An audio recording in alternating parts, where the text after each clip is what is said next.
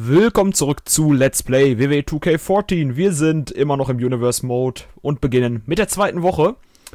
Ja, Monday Night Raw und der Opener ist Primo gegen JBL. Wo wir mit... Hm, mit wem spielen wir? Hm. Ich bin am überlegen. Primo oder JBL? Wem gönnen wir den Sieg mehr?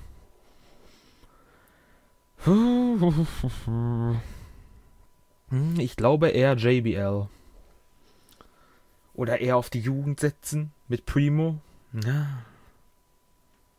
Schwierige Entscheidung. Ich ne, entscheide mich für Primo. Schöner Lock-up Lock -up hier zu, Bege zu Beginn. Oh, Gutbuster. Und der Dropkick sitzt super. Ja. Die zweite Woche steht an. Die Fäden sollten so langsam ein bisschen an Konstanz gewinnen. Ich finde es auch wieder ein bisschen schade, dass äh, Dolph Ziggler und John Cena beide wieder in ein 1 gegen 1 Match gesetzt wurden. Heißt, ich weiß noch nicht, mit wem ich dort spielen werde. Ich tippe aber schon fast wieder auf Cena, um so diesen Underdog-Effekt hinterher so ein bisschen hervorzuheben. Wenn er versteht, was ich meine. So nach dem Motto, Dolph Ziggler gewinnt den Titel, nach, trotzdem, dass er alles, alle Matches verloren hat. Je nachdem, was die dritte Woche noch so ähm, für uns bereithält. Also die dritte Raw-Ausgabe. Ja, kurze Legs. So. Oh, Konter von JBL. Und der Springboard Splash. Springboard Crossbody, um es genau zu sagen.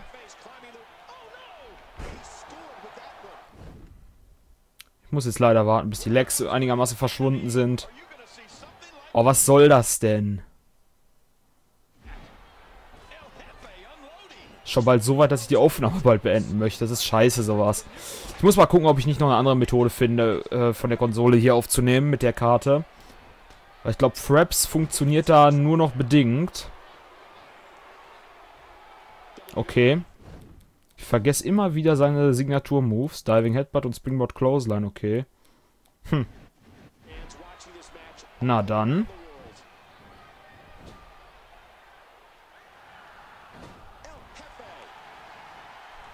Und die Springboard Clothesline sitzt.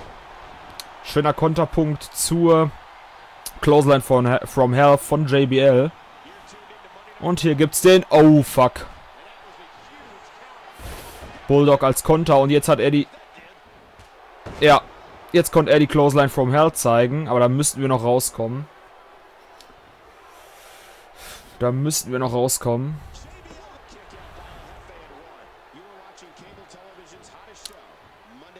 Whip in. Und ab nach oben.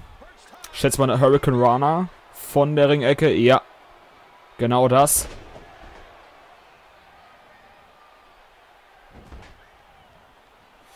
Gucken, ob wir schon mal so ein Roll-Up probieren können. Natürlich. Eins. Na. War irgendwie klar. Und raus mit dir.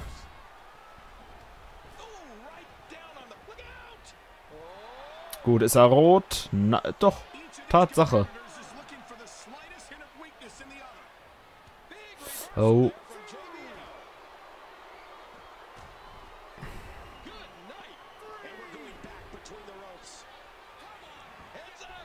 Und wieder der Springboard äh, Crossbody. So.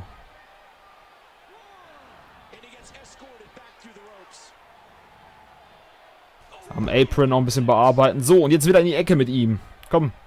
Heb ihn auf. Fuck.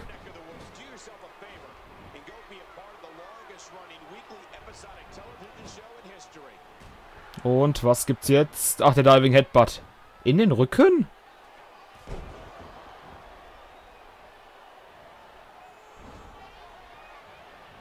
Und diesmal, oh, endlich. Zack, der Backstabber sitzt. Und das dürfte der Sieg sein. Eins, zwei, drei. Primo gewinnt im Opener von Monday Night Raw und kriegt dadurch vielleicht etwas Momentum dazu. Auch wenn ich aktuell jetzt keine Ideen habe, was man mit ihm so jetzt machen könnte. Auf jeden Fall nicht in dem äh, Let's Play-Teil des Universe Modes. Vielleicht zocke ich hinterher noch ein bisschen mit ihm, aber ich bezweifle sowieso, dass ich nach dem Let's Play noch viel WWE 14 zocken werde. Dafür fesselt mich das Spiel einfach nicht so. Also vom Gameplay her etc. Dafür ähnelt es mir einfach zu sehr den, Vor den Vorgängern. Aber gut. Dazu vielleicht später mehr. Opener gut, voll, äh, gut absolviert. Und weiter geht's mit einem Tag Team Match. Bro Code alias Zack Ryder und Santino Marella gegen Jack Swagger und Antonio Cesaro. Da erklärt es sich eigentlich von selbst, wenig Spiele. Man kriegt ja auch teilweise eine Rotz vorgeworfen von der CPU. So. Dann nehme ich natürlich das Team der All-American, ne, der Real Americans. Bestehend aus Jack Swagger, dem All-American American, haha, super die Brücke gefunden. Und Antonio Cesaro. What the fuck? Was ist mit ihm? Du sein Jobber, du müssen dich kaputt hauen lassen. Sag ich doch. Er dürfte aber eigentlich auch nicht so viel aushalten.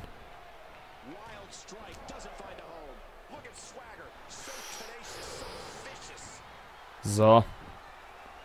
Gleich erstmal hier wieder für vernünftige Verhältnisse sorgen. Ist ja schrecklich.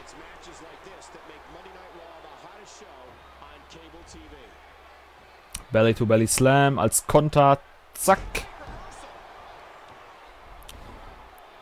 Die beiden haben bei der Smackdown-Ausgabe, glaube ich, auch schon ein, ein Tag-Team-Match gewonnen, oder?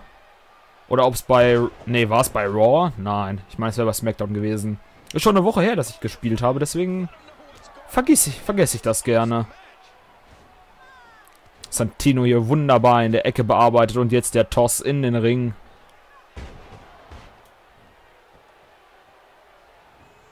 Noch der Leg Drop. Ach ja.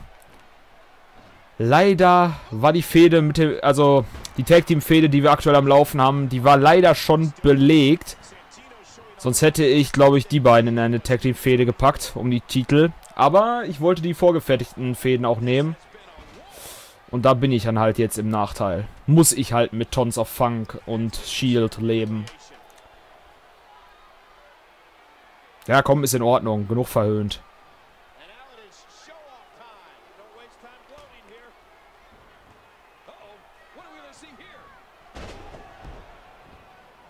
Nice. Wow.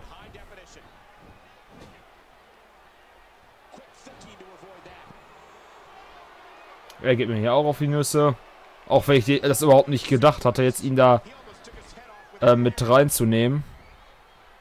Oh, da kratzt er auch noch. What is wrong with you? Och nein.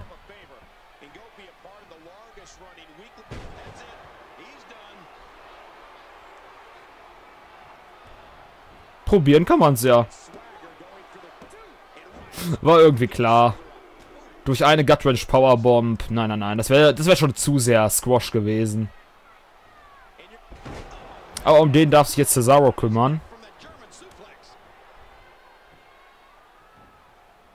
Kriegt fast dieselben Moves jetzt ab, aber der Finisher ist geiler. Wird gekontert. Jo.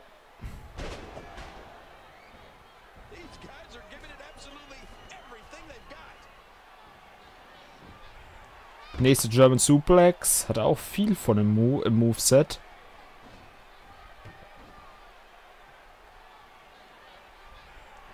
Nächster Konter und die nächste Schlagserie, die unterbrochen wird. Wow, Kruzifix. Ein Kruzifix. Allerdings ohne Pin, was auch noch nicht wirklich Sinn machen würde. Immer, schön, immer schön den Rücken bearbeiten. Der jetzt auch rot ist, also viel aushalten tun die beiden nicht. Und schon wieder gekontert.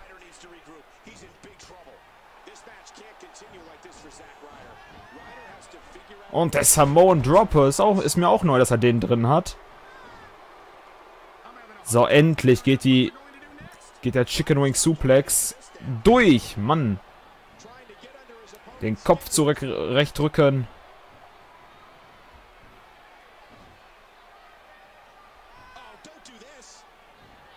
Ein Angle Slam, ein Olympic Slam. Das Moveset ist eigentlich richtig geil.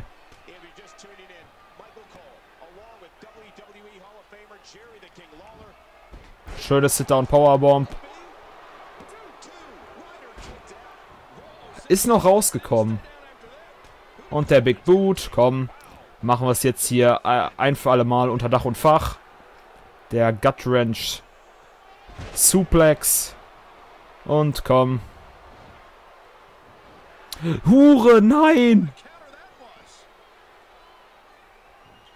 Fuck. Das könnte jetzt zum Selbstläufer werden. Nein, nein, nein, nein, nein, nein. Wow. Das Tag Team Match bis jetzt wesentlich spannender als das Match als Opener, der, was den Opener geboten hat.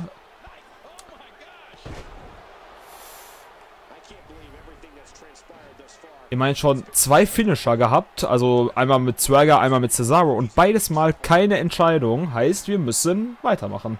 Oder weiter warten. Und das geht in die Ringecke. Ja, super.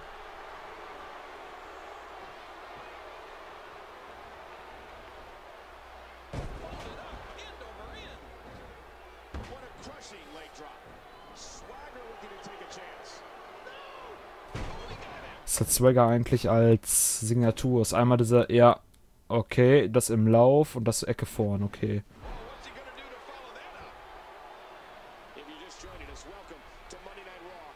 Body Slam. Passt.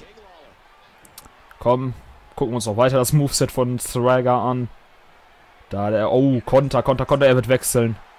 Ein Hot Deck. Was wir hoffentlich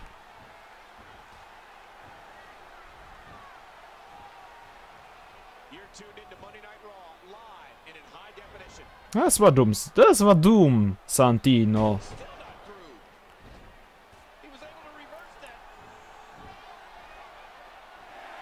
Fuck. Will er wieder wechseln oder wie?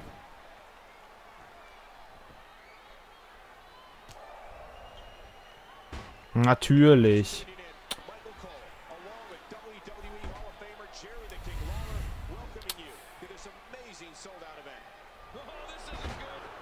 Ficker. Ernsthaft.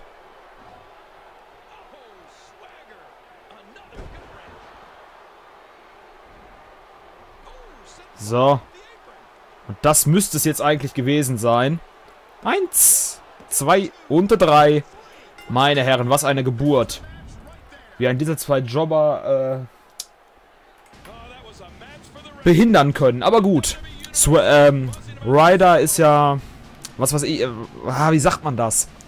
Nicht unbedingt ein Jobber, aber wird als Jobber dargestellt. So, jetzt haben wir es. Aber ich glaube auch nicht, dass da noch viel kommen wird für Ryder. Der hatte seine Hochphase, wo es halt diesen Internet-Hype über, über ihn gab, um ihn gab. Und seitdem ist er eigentlich tote Hose. Ach du Heiligblechle. Hm. Auch hier äh, spricht es für sich selber, mit wem ich spiele. Aber wir sind, wir sind bei den äh, Rivalitätsmatches angekommen.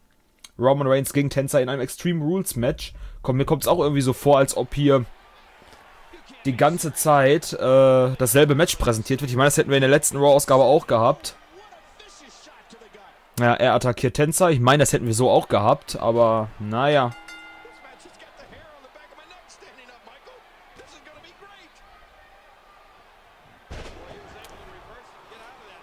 Naja, kann man halt nicht, nicht viel machen. Wir werden die Fehde halt so spielen, wie sie uns vorgesetzt wird.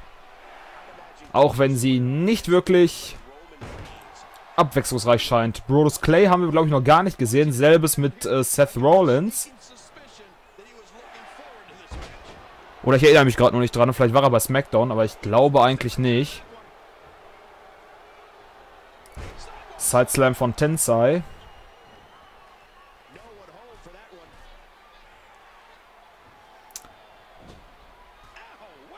So, und jetzt, da Reigns ja auch ein Heal ist, holen wir uns erstmal ein paar Objekte. Hier, ich bewerfe dich mit Stuhl. Ach, scheiße. Dann schlage ich dich mit Stuhl. Fuck.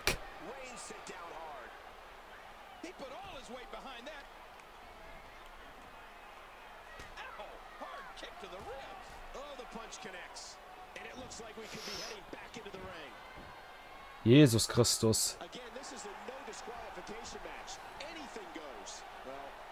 Nicht reingehen. Da. Na, okay, ich wollte eigentlich den Kendo-Stick, aber egal. Ficken. Scheiße.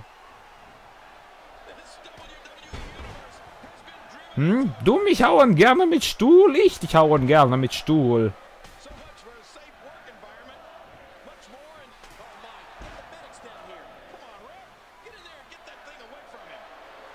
So, jetzt warten wir. Etiken Tensei, da du haben.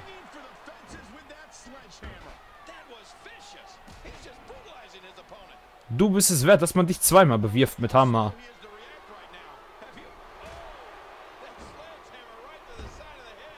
Ich sage zweimal bewerfen mit Hammer. Und jetzt laggen wie Sau.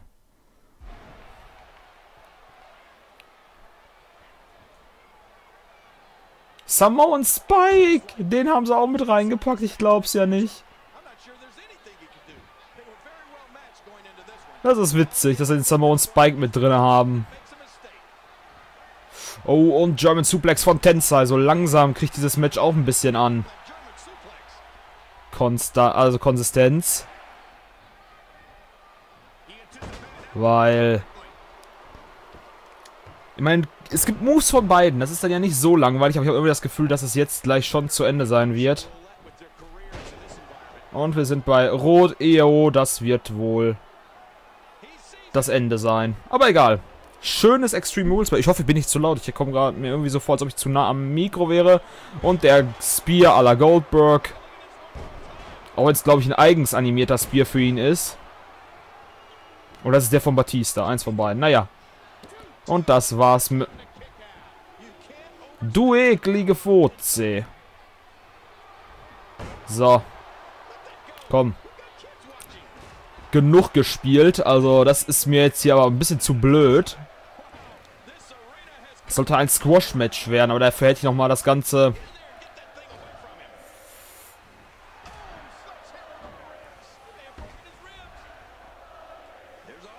Wollen wir gucken, ob wir ver, äh, verletzen können, dickes Tensei.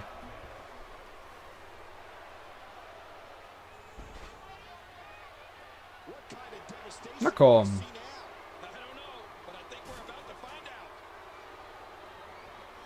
Na dann. Oh, fuck.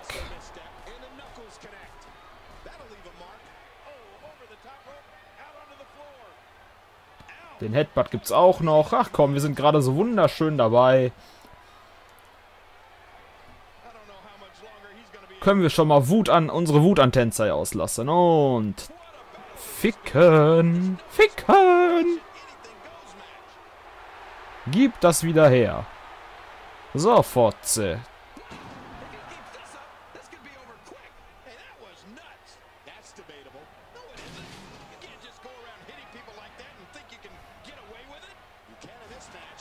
Ach nein, Tensei, lass das Ding doch draußen. Das wird doch nichts.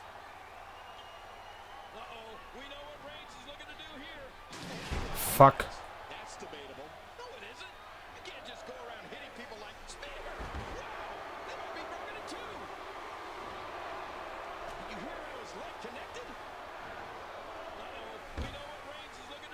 Fuck, ich glaube, er hat's äh, gekontert, oder? Ja. Oh, fuck.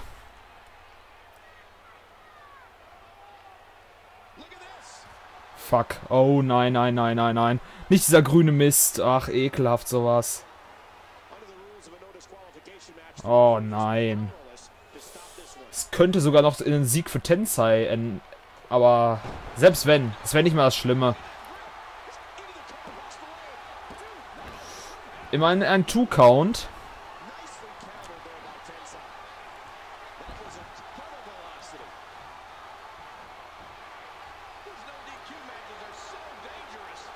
Wenn wir schon mal dabei sind, dann kann auch noch die Leiter dazu kommen.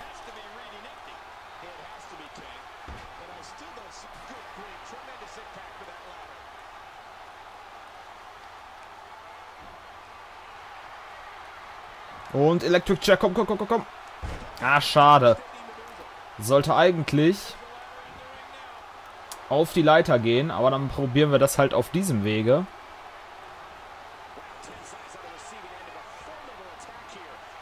Oh, fuck, fuck, fuck. Ich wollte eigentlich auf die... Eigentlich sollte er mehr auf die... auf die Leiter gehen, aber... Irgendwie will das mit der Koordination gerade nicht so. Jetzt.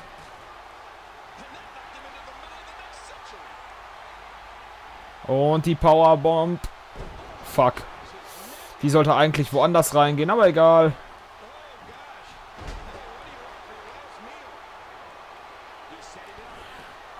Gucken. Jetzt habe ich so einen Gedanken, aber ich glaube, das wird nichts. Ne. Hätte ein bisschen weiter gemusst, um noch irgendwie in die Leiter zu gehen, aber gut. Das sollte es jetzt aber auch endlich gewesen sein. Der verdiente Sieg für Roman Reigns. Und ein weiterer Pluspunkt für, äh, die, für die Tag Team Champions in dieser Titelfehde. Die aber noch irgendwie... Ich finde, Seth Rollins und auch Bronze Clay kommen in dieser Fehde fast gar nicht vor.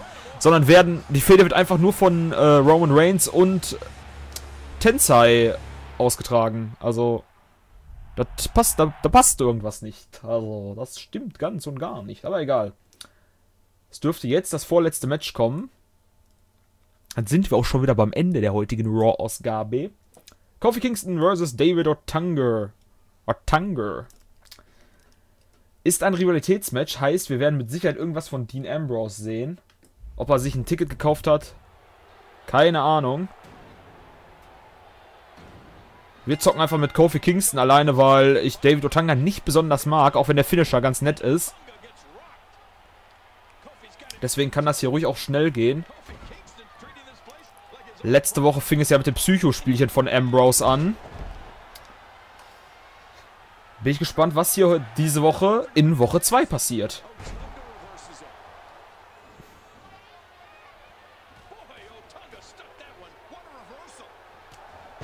Schöner Chop. Und der Gutbuster sitzt und der Springboard äh, Splash. Das war schon mehr ein Splash. Und das wird ein Leg Drop. Nee, ein, ein Diving Stump sollte das werden. Stamp.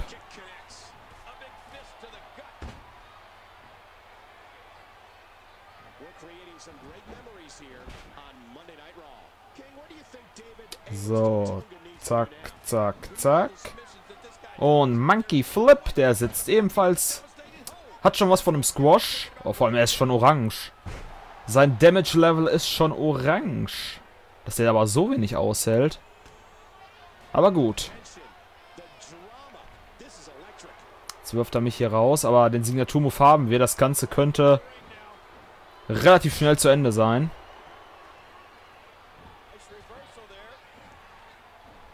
fuck? Wie hat der bitte aus einer Springboard Clothesline ein Back Body Drop gekontert? Na, das sein physikalisch gar nicht möglich.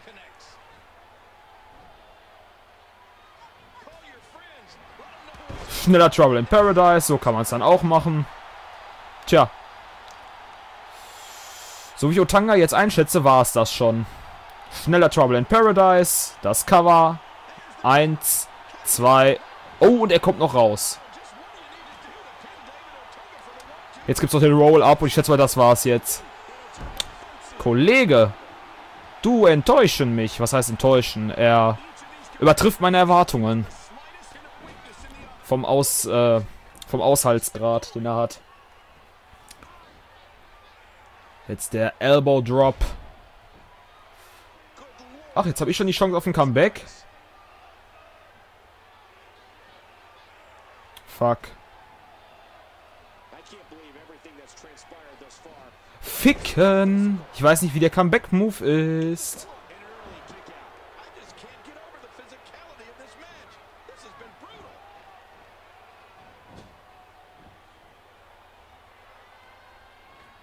Machen wir es halt nochmal mit dem Monkey Flip. Oder so.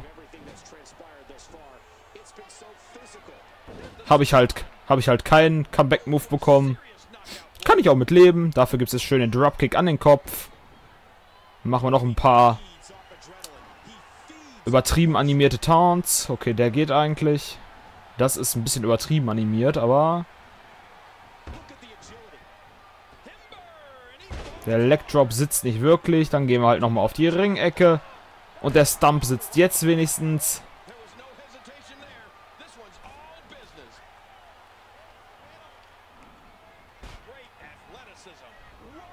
Gibt es jetzt auch den Boom Boom Leg Drop. Und zack, der sich sogar positionsgerecht äh, anordnet. Also, obwohl er in einer anderen Richtung lag, hat er sich trotzdem dahin begeben. Und jetzt noch den SOS. Und das sollte es dann auch gewesen sein. Hier nochmal in der Wiederholung. Zack. Eins, zwei, drei. Kofi Kingston gewinnt das Match gegen David Otanga. Aber jetzt fehlt mir noch irgendwie was bezüglich Dean Ambrose. Und da ist Dean Ambrose. US-Champ Dean Ambrose kommt raus und guckt sich Kofi Kingston an. Sie liefern sich einen Stare-Down. Und ich schätze mal, das war's dann auch mit dieser Fehde. Nur ein kleiner Stare-Down. Aber das finde ich gar nicht mal schlecht, dass es nicht physisch wird. Weil physisch soll es dann bei Extreme Rules werden. Moha, das klang dramatisch. Für mich zumindest. Und der Main Event. Mal wieder John Cena gegen Dolph Ziggler in einem Extreme Rules Match. Ich glaube, letzte Woche war es auch schon in einem Extreme Rules Match. Ich rede jetzt von Ingame-Wochen. Ähm, letzte Woche war es auch schon in äh, Extreme Rules Match. Nein, die zweite Woche wird auch wieder ein Squash. Oh, der sofortige Leg Drop. Also ich zocke als Cena wieder. Leider Gottes muss ich das zugeben. Wie gesagt, wir haben ja noch zwei Wochen, aber Cena soll erstmal auch schön als guter Champion dargestellt werden. Nicht nur, weil ich jetzt irgendwie doch plane, ihm den Titel dann bei Extreme Rules von Sigler abnehmen zu lassen. So, schöne Clothesline. Ihr seht, es geht relativ schnell mit Cena, jemanden zu squashen. Auch wenn mir langsam immer noch... Also hier fehlt mir generell noch irgendein Segment. Ich kann mich jetzt überhaupt nicht daran erinnern, was letzte Woche passiert ist, dass die beiden irgendwie segmenttechnisch äh, ineinander, miteinander konfrontiert wurden. Nur zwei Matches bis jetzt, das rechtfertigt ja eigentlich kein Titelmatch. Aber vielleicht, äh, vielleicht trollt uns das Spiel auch und es gibt gar kein Titelmatch zwischen den beiden.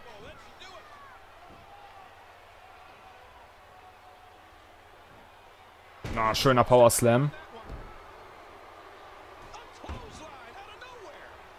Der Leg Drop vom, vom obersten Ringseil.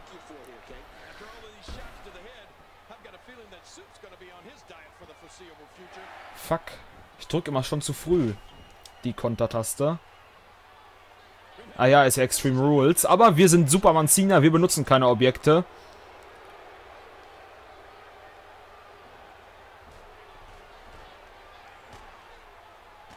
Der Fisherman Suplex auf den Hammer.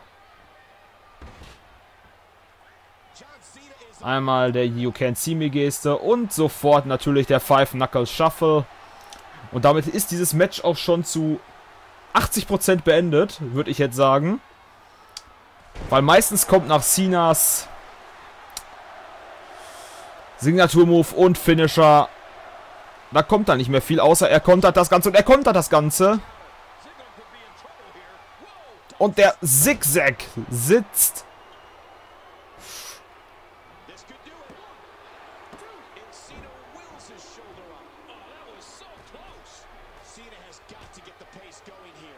Und der Gutwrench Suplex sitzt auch wieder. Okay.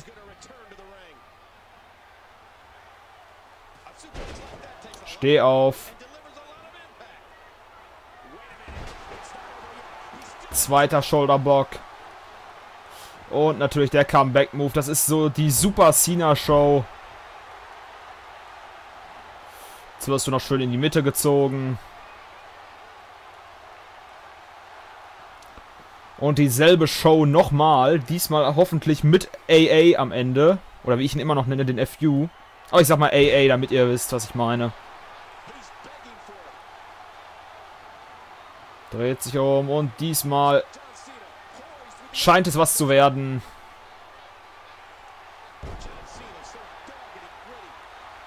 Und das sollte es auch sein. Eins, zwei, drei. John Cena gewinnt die zweite Woche in Folge gegen Dolph Ziggler. Und jetzt bin ich gespannt, ob wir da irgendwas sehen werden, was irgendwie einen weitere, weiteren Verlauf andeutet.